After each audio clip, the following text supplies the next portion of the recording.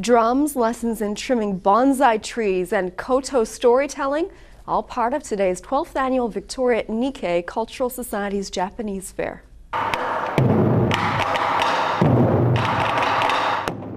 The drums of Japan could be heard at the Esquimalt Rec Center today, part of the annual Japanese Cultural Fair.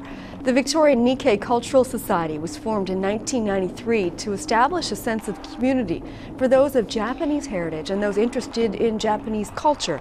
Hundreds showed up to observe and enjoy flower arranging, bonsai tree trimming, storytelling, painting, and pretty much everything else Japanese and also lend support to victims of the Japanese earthquake and tsunami in March.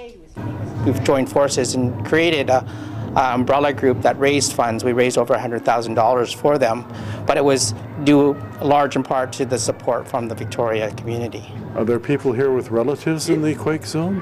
Uh, there are some, yes. The festival was also focused on righting past wrongs. People were asked to sign a petition directed to the University of British Columbia asking that 76 Japanese students interned 70 years ago in the Second World War be recognized with honorary degrees.